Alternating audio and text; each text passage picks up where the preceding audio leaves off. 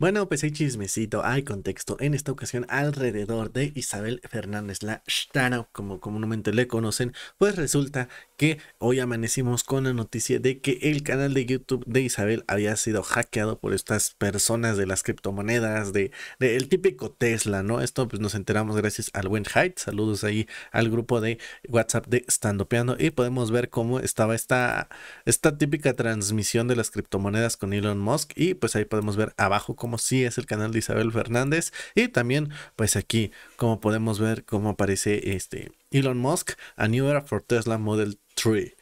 Eh, y pues igual, Isabel Fernández, 17 mil usuarios. Bien, oye, como que eran un montón de usuarios, ¿no?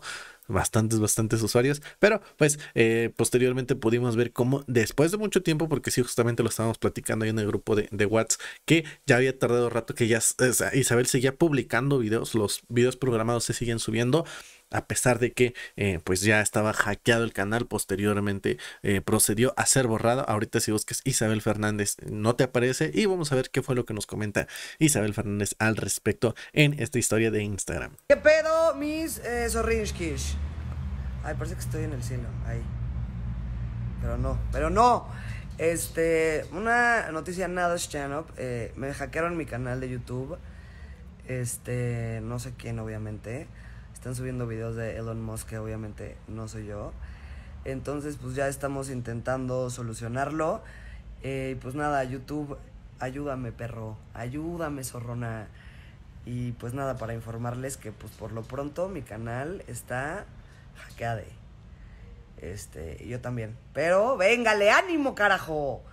Y pues nada, eh, hoy el episodio de Dos Mujeres en un Stand Up se va a subir en el canal de Carla.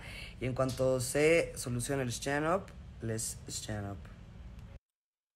Y pues, les repito, ahorita si lo buscamos, pues aparecen menciones de ella en otros canales, en otros contenidos, pero como tal, su canal no aparece de momento, pues está en privado, está tumbado sea lo que sea, no se desuscriban, no lo, no lo denuncien porque justamente eh, comúnmente lo que pasa es que YouTube logra quitarle el canal a los hackers, logra regresárselo al dueño y tal vez por las denuncias, por, por todo eso, se lo tumben, ¿no? Por, por fraudulenta una vez que ya lo recuperó. Esto me parece que le pasó a Fede Lobo, que primero todos empezaron a reportar cuando le hackearon su, su canal a Fede Lobo y una vez que lo pudo recuperar, eh, lo volvió a perder, pero pues ahora por denuncias. Entonces, pues simplemente queda sentarse esperar a que le regresen su canal a Isabel Fernández y pues si no como quiera yo creo que, que va a ser muy fácil que recupere los casi 100 mil suscriptores que tenía porque pues es una persona que, que, que está muy metida en el estando. Pero ojalá pronto se lo regresen y les repito, no denuncien, no se desuscriban porque seguramente